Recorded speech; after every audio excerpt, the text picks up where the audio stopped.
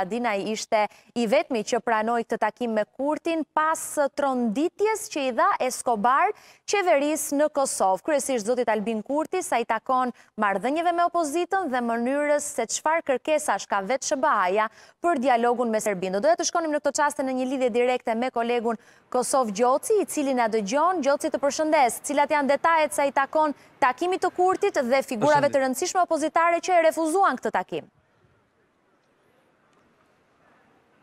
Po siç e thatë dhe ju, i vetmi që i është përgjigjur pozitivisht ftesës së zotit Kurti për t'u takuar nga liderët opozitarë ka qenë zoti Haradinaj, i cili para pak minutave ka përfunduar takimin me kryeministrin Kurti.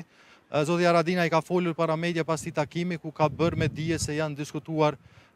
nenet dhe preambula e marrëveshjes së mundshme me Serbinë. Pra në një farë forme zoti Haradinaj e ka konfirmuar se ekziston një draft marrëveshje mbi të cilën është duke u diskutuar, megjithatë ai ka mohuar ta pohojë apo mohojë faktin se kjo marrëveshje është propozimi franko-gjerman, thjesht ka folur se është diskutuar rreth kësaj marrëveshje, janë diskutuar nenet e veçanta, mhm. është diskutuar për preambulën dhe po ashtu ka shprehur gatishmërinë e partisë së tij që të jetë aty sa herë ka nevojë në të mirë të Kosovës. Po ashtu ai ka bërë me dije se ka kërkuar nga zoti Kurti që në çfarëdo varianti kjo marrëveshje duhet ta ketë vulën e Shteteve të Bashkuara të Amerikës dhe se kjo marrëveshje duhet të ndodhë realisht në Uashington dhe jo në Bruksel. Të paktën kjo ka qenë kërkesa e zotit Haradinaj. Zoti Haradinaj është pyetur edhe sa i përket mundësisë që ai të bëhet pjesë e qeverisë Kurti në një ndryshim të mundshëm, çka dje pati komente rreth mundësisë së zgjedhjeve të reja apo ndryshimeve në qeveri, megjithatë ai ka mohuar komplet, ka thënë se është zero mundësia që AAK-ja të bëhet pjesë e qeverisë, megjithatë ka shprehur gatishmërinë që të jetë aty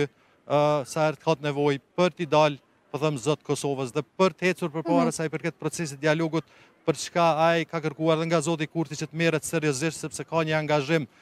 maksimal të kryeqyteteve botërore në këtë çështje, duke përfshi nga Brukseli, Uashingtoni, Londra, Parisi e të gjithë, prandaj ka kërkuar që të gjitha këto çfarë janë duke ndodhur tash të merren seriozisht dhe të diskutohen. Megjithatë, këto çështje nuk është arritur të diskutohen edhe me dy liderë të tjerë opozitarë, zotin Memli Krasniqi nga PDK-ja dhe Lumir Abdixhiku nga LDK-ja, të cilët nuk kanë pranuar të vijnë në zyrën e Kurtit. Ata kanë thënë se Vendi ku duhet të diskutohen këto çështje dhe ku duhet të raportojë realisht zoti Kurti sa i përket edhe një marrëveshje të mundshme po edhe procesit në përgjithësi të dialogut është kuvendi dhe se ata presin që aty të gjitha këto diskutime të bëhen dhe jo në këto takime të cilat sipas atyre janë më shumë takime private dhe jo Megjithatë më konfirmo diçka Gjoci, mund ta pranojmë tanimë dhe ta themi me plot gojën se Escobar Ka pasur një takim me tensione me Kurtin, duke i vendosur atij kushte dhe duke e shënjestruar pak qeverinë? Tani, ndoshta është shumë të themi që ka pas tensione, por që ka ardhur me mesazhe të qarta dhe me kërkesa të qarta Tashmë është e ditur. Ai këtë e ka konfirmuar edhe në një intervistë për mediat kosovare, ku ka potencuar gjitha diskutime që i ka pasë, duke fillu nga marrëveshja e mundshme që megjithatë e ka konfirmuar që bazohet tek propozimi franko-gjerman, e deri tek mundësia e shtyrjes së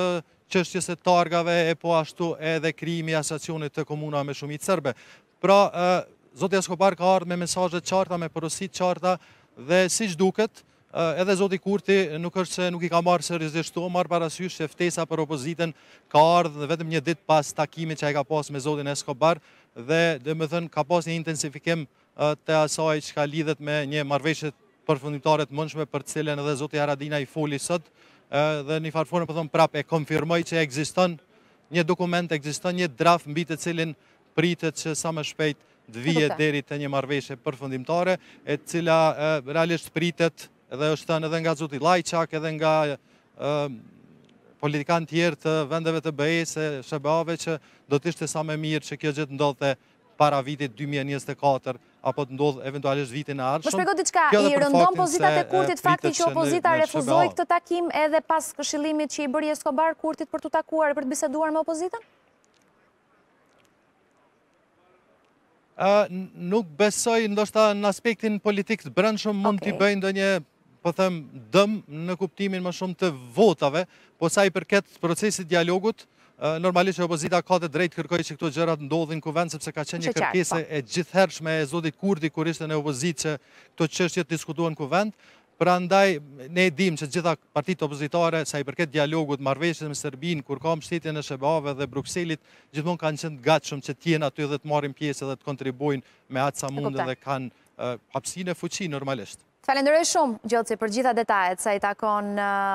takimit të Kurtit me Haradinaj, po edhe gjithçkaje që në fakt Escobar ka vendosur si veto, po themi, për qeverinë aty. Faleminderit. Shumë shkurt një hapësirë publicitare dhe kthehemi sërish bashkë për të folur për ligjin e dosjeve.